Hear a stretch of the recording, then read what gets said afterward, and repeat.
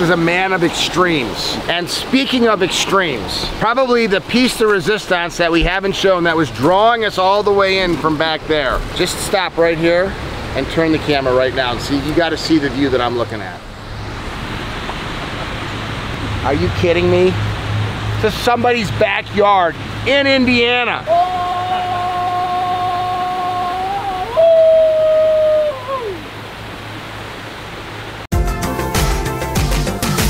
We're in Crown Point, Indiana. Yep. So we're not in Chicagoland. Mm-hmm. We built this nine years ago. 2009 started it, finished 2010 okay, because that- that's, that's how big it is.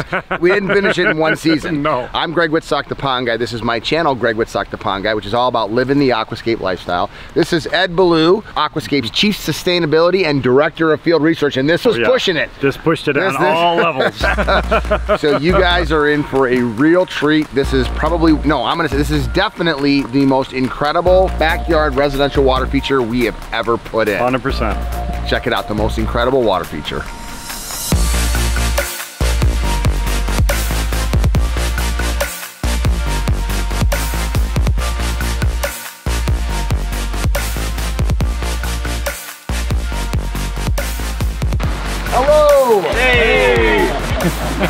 Hey, John. Hey, Greg, good to see you. Good to see you. Good to see you. Yeah, how you doing? All Good, right. good. Good seeing you.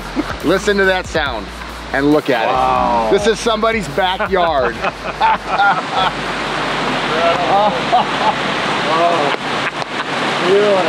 This is unbelievable down here. How many actual AquaBlox did you put in? What is the system There's here? a thousand aqua blocks under here, 30,000 gallons of storage, and that's because this was traditionally gets a lot of rainwater coming in. There's actually a curtain drain that goes along the entire south edge of the property that captures some of the water from the neighboring properties, and it reroutes it into here.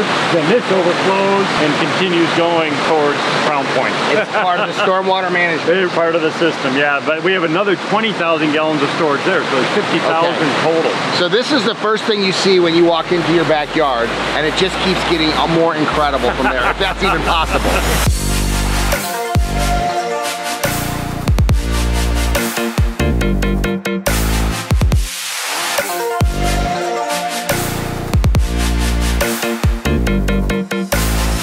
Thirty-one years you've been living here. For the last nine years or so, you've had this. I mean, this this is quite a vision, my man. It's a vision I had, though. The, the, the only reason I was able to build it is they cut down 600 trees next door.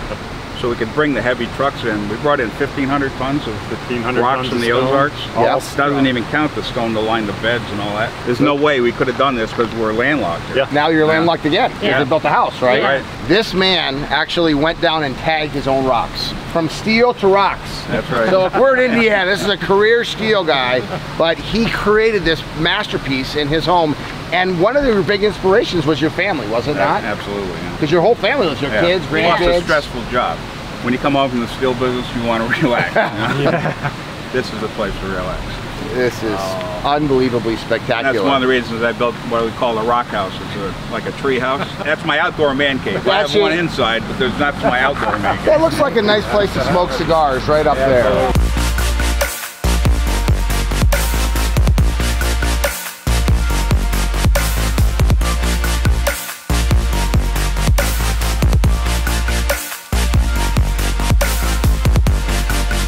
So since the last time we were here three, four years ago, he's turned it into a fairy garden. Why not something new?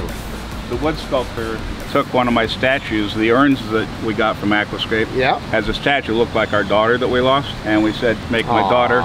It's a fairy castle. See all the. Very special. This was such a magical yard, and with Yeah. the grandkids, we wanted to build the fairy experience into it. Well, they call it, what, Narnia? magic. Narnia, yeah. I mean, this is this, perfect description. This is Narnia. You would never believe that we were in Indiana. Stone's throw from Chicago, just outside of all the hustle and bustle of everything, and you have this little hidden escape. How big is your property? Because it's long and narrow. That's three acres, yeah. Edwin, the design, you guys really spread this out. I mean, I'm standing here right now, and I am looking probably 100 yards plus away, and I'm seeing the big main waterfalls. Yes, exactly. But it's Well, so cool because it just draws you in because it's hidden. So this mm-hmm. this is the part of the thing we were talking about is you have this winding path. There's not a human being on earth that could stop right here and not get drawn back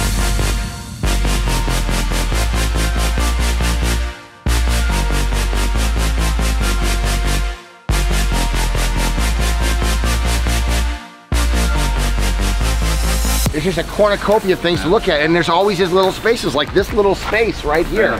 So you see the lights here? At nighttime, you think you're inside of a restaurant because Oh you've my got the canopy of the leaves that the light shines up on. Yep. This is like the place to read a book. Yeah, If I've ever do. seen a place to read a book, it's right here. Yeah, that's what we do. This was done since we left here, this Yeah, whole those- fairy garden. Wow, look at this garden. I mean, it's, I love the two chairs here too. See you guys next week. so there's a fogger right here, there's a fogger up there. So I'm looking at these foggers, which is perfect for a fairy garden. And then you turn your head right over here, and that is your waterfalls. My gosh. Okay, I gotta ask this question. What do people that come to your yard for the first time They don't believe it.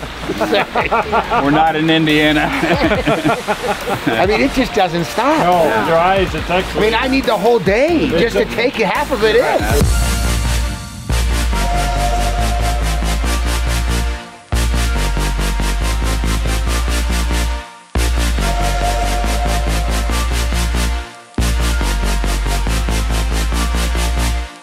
Oh, another little area. Whole another little seating area. Oh my gosh, look at how this is. Growing in the wetland. Look at how big it is. We have one in ours and it's, it's uh, not doing anything. We're sitting on top of the wetland filtration system that's responsible for the water quality of this entire feature. So the main waterfall doesn't run all the time. The wetland never goes off. Right. Yeah, he flips on the waterfalls whenever he's got a party or Exactly, people exactly. over, and then it goes off, and then this one runs 24/7. Yeah, I mean this is awesome. I love all these grasses and Oh stuff growing God. And inside. that's part of the filter. It's all part of the filter, as well as this tree. So this thing is is growing down inside of the filtration Some system, sort of a, just constantly fed nutrients. Correct. Beautiful tree. isn't it? And this is a beautiful area. This is why you have a little seat right here. Another. There's another Another cocktail area. fairy garden.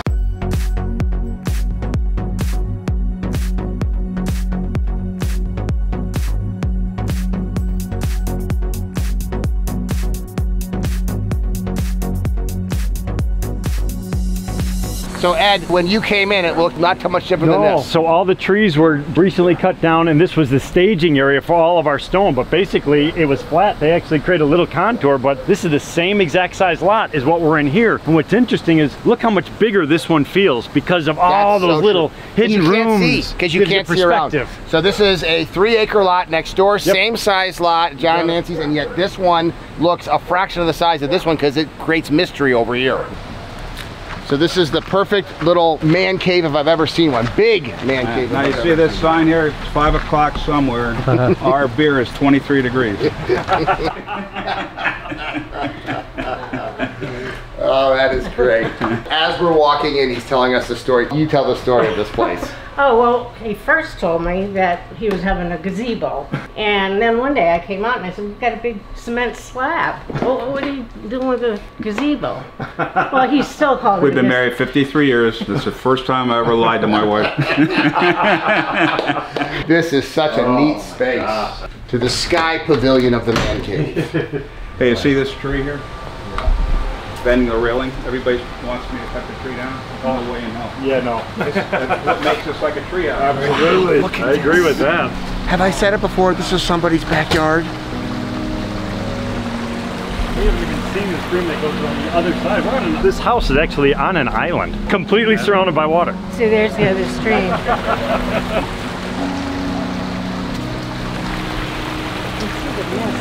When you can't buy a house on water, you just make the water around the house.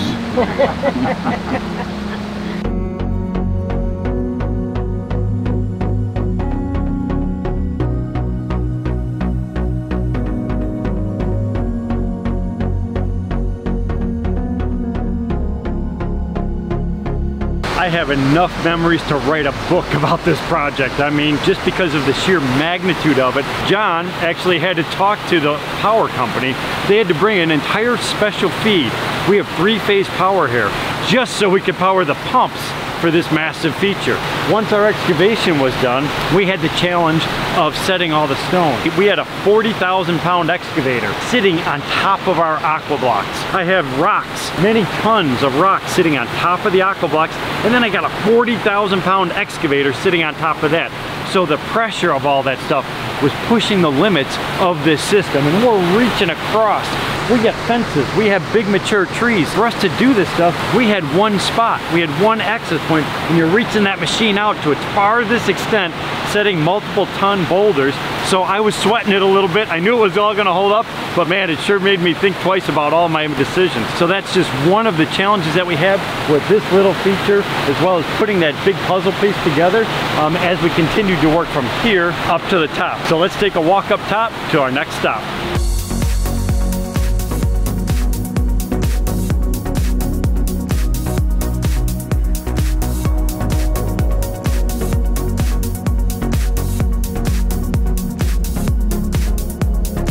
The other thing that we did here was we knew that there was going to be some sort of a seating area here. Didn't know it was going to turn into this massive man cave, uh, but we knew there was going to be a little seating area over here. And we wanted to bring fish from the main pond into this area. So this section of stream here is what we would call a deep stream. The koi will come all the way up into the stream. Now koi are a riverine fish, normally found in the rivers of China. That's where they originated from. So for us to create this environment where we have 8 to 12 to actually 16 inches of water. The koi love coming in here because they like to feed in that. You'll see them just kind of lazily swimming back and forth in those currents. They could basically graze on the bottom as food comes to them. But what I like about that is it brings the fish right up next to the main viewing area. So you have views from the top, from inside, you could see fish and all this stuff kind of converges. And then the other important part of this is all of that water is blasting back into the pond.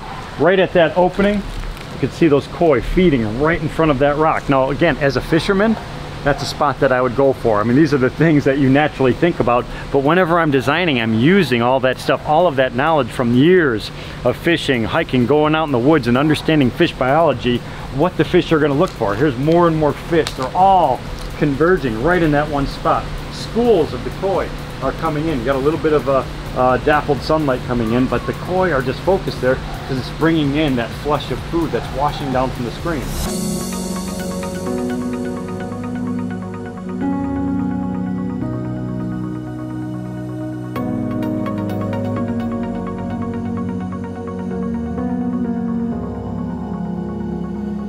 We choked all of that water. That, all that So- pump. so thick. It's just thick. I mean, look at I mean, this looks like a trout stream. And then you have that big turn. I love creating those peninsulas. I mean, just look at the current there. Vegetation kind of creeping over It's unreal. It's so cool. I've said it once, I've said it a hundred times. I cannot believe this is somebody's backyard and he built it. And Ed, this is a million dollar backyard. Oh yeah. Is a million dollar backyard. But but but think about this. How much do people pay for land Yeah. that's on something like this? I mean, you could Many, many millions. And their taxes would be insane. He designed a waterfalls that his house looks over. If you go to Montana, you wouldn't be able to find that. You would not. That's a million dollar views. That to me is what this job is all about. Seeing people that are able to live their lifestyle because they choose to live the aquascape lifestyle. But And not everybody needs a million bucks though either. So you could have that same for ten thousand dollars you could do something. John, yes, very, very extreme, but this could be done anywhere on any budget and it would make a massive impact. This has been an absolute pleasure being here again. So Nancy, I want to ask you a little bit because John was telling me how, um, I asked him how he's doing in retirement. He goes, listen, I would never bring my work home. I would need an escape in my yard. And this is basically what this has become for him, Yes. correct? Mhm. And he's always done it. Uh, other places, we lived in New Jersey. That was our first house. Yep. And he did a lot of landscaping there. It's therapy. Mm-hmm. So the work that Yeah. you do back here is, is therapy now. I mean, this is, because I would think if you're a high powered executive that's worked your entire life and you retire, it's a big change, but you've always been a guy that's enjoyed your home as a sanctuary. And now this is a fun change because I get to keep doing what I really like to do best, and I have my grandkids that I spend time with. And that's why you don't have a second Yeah. vacation home because your grandkids are in the area. So your Right. vacation home is Yeah. your home. And my oldest grandson, like I told you earlier, helped me pick out all the trees and all the rocks that you see. So here he's part of this. Ozarks and Portland. His Oregon. fingertips are, are part of this. Yes. And he's gone kayaking on this, hasn't he? Yeah. How many grandkids could say they go to grandma and grandpa's and go kayaking in their backyard? Yeah, that's that's just amazing. This is our art. So basically, for you gave us a palette to work with that is is second to none. And so Yeah. this to date, Ed, would you agree with this? This is our most extensive and favorite residential backyard Without a doubt. makeover. Without a doubt. Absolutely. So for that, I thank you, sir, absolutely, and thank yeah. you for the hospitality. This is what this Ed, is. Ed was the Monet of uh, Yeah, he is, uh, waterfall and I taught him building, everything he knows. Yeah, exactly. And he still knows nothing. what? See why I like this guy? This, this is good. Hey, if you want to follow along and see cool people with phenomenal backyards, with incredible designers like Ed Beaulieu, like, comment, and subscribe to this channel because more people need to know what living the aquascape lifestyle is all about. Life is good. Life is And I love my job.